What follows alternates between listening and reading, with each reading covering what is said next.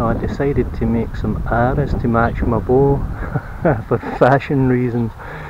I'm kind of halfway through them. I'm not sure whether to go with having the 3 inch with a wrap or the 4 inch bare. The 4 inch bare looks really good I think. Shooting today with a thumb ring again and my SilverBull arch, SilverBull gear wolf bracer that Laz Laurent made me and I'm wearing a glove on my shooting hand because I put a feather through the edge of my finger which was a bit painful. Serves me right for being too casual. Also I've put a wee nocking point on the string because I was finding that some of the, uh, the looser nocks were all over the place which would make me mega inconsistent. So let's see how we go. Shooting from 10 metres at the bag. There is 10 metres and we'll see how it goes. I'll just put the stuff on and then I'll start filming it. Oh, and of course I'm going to try a couple of the arrows. They'll be a bit heavy for the bow, but hey, I don't mind. They look good. well, let's see how my new ones fly. I'll just try the two that are finished.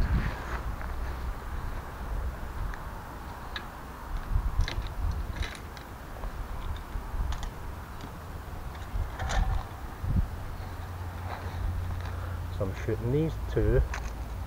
I'll put the details. It's Port Orford cedar, full length, 32 inch, plastic nocks, 4 inch gateway right wing parabolic eh, shield cut, and 3 inch gateways right wing shield cut. 100 grain brass kind of screw on glue on target points and the 30 pounds Alibow Turkish style let's see how these go. They're heavy so they'll shoot low and I still haven't put a kulak on so this is day 2 with the thumb ring. Whoa near enough right in the middle.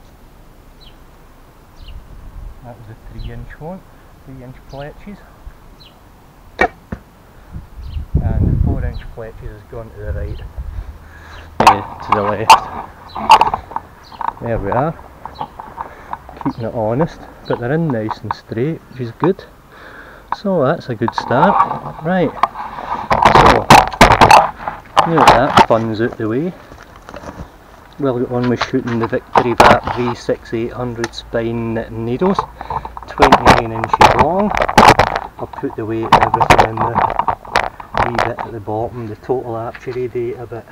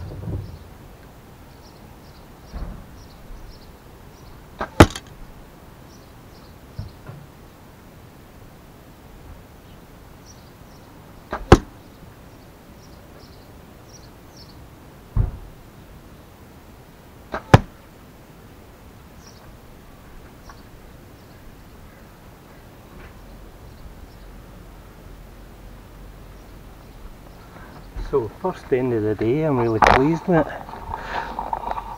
Three really nicely grouped together. And all together a wee bit random but much less than it was the other day. So hi improving already